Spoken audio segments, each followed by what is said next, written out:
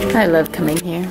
All right, folks, thank you for your attention. I think we have the majority here, so we'll go ahead and get started. Um, my name is Curtis, if you didn't catch in the very beginning. Uh, we're gonna, I'm going to mention some of the larger things and then give you an opportunity to look around and check it out yourself. Uh, first off, I wanted to point out these two rovers that we have in front of us. Uh, to date, JPL has sent three different versions of rovers to Mars. Uh, these represent the very first two. The very first one we sent to Mars was actually that small little guy that you see over there. You may better know it as the Pathfinder Sojourner. The mission itself was called Pathfinder. The rover was called Sojourner. So that's a Sojourner rover. That's exactly the same size as the real thing. It looks just like it, but that thing, it's only a model. There's nothing on the inside. It doesn't move. It's not real. But it gives you an idea of how large the actual real thing was. And as you can see, it's about the size of a, uh, a child's wagon or so. Um, that was what we refer to as a, sci- uh, a technology mission. Here at JPL, we have two types of missions. We either have a science mission, and a science mission would be like the rover is looking for life on the surface of Mars. That's a science goal, it's a science mission. That other one, the small little guy, was what we refer to as a technology mission. And technology missions are missions where we're just trying to prove that this technology we just uh, invented actually works or not. And we're not necessarily looking for any specific science goals. We want to see if it's going to work. And the whole purpose of that was to prove we could actually land on the surface of Mars with a bouncing airbag system. You guys might have seen that thing looks like a big bouncy ball, kind of bounces on the surface of Mars. After it rolls, it deflates, and then the whole thing opens up and the rovers come out. That's actually the uh, lander portion for this one. You can see in the back right there in the corner is actually for this one. But what happened is that first small little one proved we can actually do that, and we could, it would actually work. We could actually remote control a rover on the surface of Mars. After we proved all that, we took everything we learned from that and increased it, made it bigger, and then added more stuff on it, and we ended up with two of them. And that became what we refer to as the Mars Exploration Rovers. That's these guys right here. And you might better know them by their nicknames, Spirit or Opportunity. Both of them were actually uh, twins. They looked exactly the same. So this is what we refer to as a composite. It represents both because um, they basically look the same. Um, this is also full scale, same size real thing. It looks just like it. But just like the one next to it, it's only a model. There's nothing on the inside that does move. But it gives you an idea for the size of the actual things. Um, now you'll notice both of these are solar powered. And the solar panels work really well. The problem with solar panels though, solar panels only work in the daytime. At night they don't work. And just like here on Earth, there's a nighttime on Mars. And just like here on Earth, solar panels don't work at night uh, on Mars. So what that means is these rovers here actually have to hibernate. That means they have to go to sleep at night. Otherwise, if you keep them running in the middle of the night, we'll actually run down the batteries. We'll kill the rovers. So in order for them to last longer, both of these uh, rovers actually had to go to sleep in the middle of the night. So they would hibernate. They would wait till the next morning. They would wake up and they start working again. The other problem is Mars has seasons like we have here on Earth.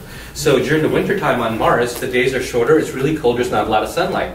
So these rovers, they're like bears. They actually hibernate in the winter. they will go to sleep, they will wait till the spring, they wake up, they start working again. So for half the year and half of every single day, we can't really do very much with these because they're reliant on the solar, uh, on, on the sun. Uh, so what later on we're going to see the new rover. If you remember the video we saw, that's the big one that kind of uh, landed on Mars with a jetpack on its back and it kind of lowered itself on the surface, right? Uh, you guys might better notice Curiosity. That's the nickname they gave it.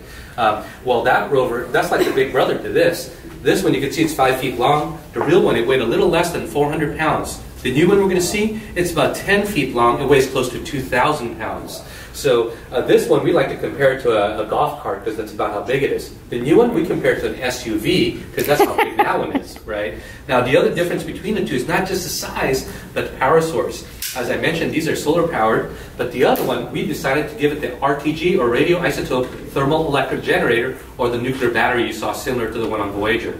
By giving the new one a nuclear battery, that one can now work in the day or the night on Mars. Mm. It can work in the summer or the winter. Now we can drive for miles and not worry about killing the battery on it. And for the very first time, we can actually run an experiment in the middle, middle of the night. Something these ones could never do because they're solar powered, right? So we'll talk about that new one later on, point out the differences and what it did when we see the new, uh, new one a little bit later in one of the other stops, okay? In a second, we're going to give you a chance to look around, but before I do, if you look above the rover, you see that gold thing? You guys see that? Yeah. That's actually part of an experiment called a magnetometer. It studies the magnetic fields of planets. And in a second, you can walk around the wall here, and when you do, you're going to notice that gold thing is attached to a really big long arm that's attached to a really big giant spacecraft called Galileo. If you remember the video we saw next door, that's the one that went to Jupiter.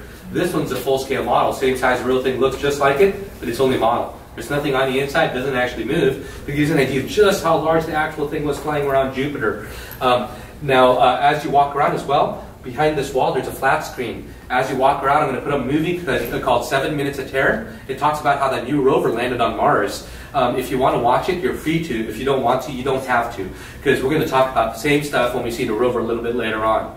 Um, if you stay where you're at, just turn around real quick, you'll notice there's a big picture of our sun right here. It's referred to as being our star. And that's because that's the closest star to us.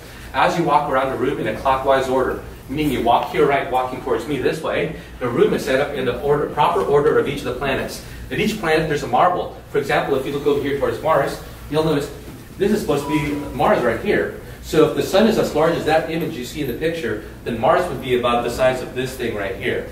And as you walk around, you're going to see the other marbles that give you a sense of scale. There's Mercury over there, Venus, there's Earth over here, there's the Moon, and then when you make your way further down this way, you'll get to Jupiter, and it'll give you an idea of how big it is, roughly about the size of a basketball, a little bit bigger, right? So now, um, as you walk around as well, you're going to see some cool stuff, like over here on the right, there's a moon rock. Right next to it, there's a shovel that was taken from a spacecraft called Surveyor. It spent three years on the moon. When the Apollo 12 astronauts landed, part of their mission was to go to that spacecraft Surveyor, remove pieces, and then take it back. That's one of the parts they took off.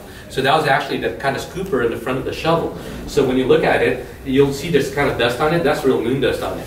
Um, as you make your way further down, you're going to see there's uh, samples of meteorite samples. There's also a sample of something called aerogel, something JPL helped to develop. It holds six world records for man-made solids, 99.8% made out of air. It's a good thermal insulator. So, for example, the inside body of this rover is aligned with that, so we can control the internal temperatures. Mm. Uh, as you walk around on the opposite side of the room over there, there's an infrared camera. Those are like those night vision goggles soldiers will use. Uh, when you stand in front of it, it looks for things that are hot. The parts of your body that are hottest are white and red. The parts that are colder are going to be blue and green. As you walk around, I just ask a couple rules. Please don't touch the all. They're very expensive. They break easy. Um, there's touchscreens you guys want to check out. Uh, the handles underneath are headphones. You can listen to them. Um, you can touch any of the touchscreens except for the one on the other side of this wall. It is the controller for the video. So I just ask you, Please don't play with that. Only the tour guides will, will, use that one. Okay. All the other ones you guys can check out. If you need to use the restrooms across the way, we're going to give everybody about 10 or 15 minutes, and then we're going to move to our next stop. Okay. Awesome. If you have questions, just come up to the tour guide. So feel free to go ahead and look around, check everything out.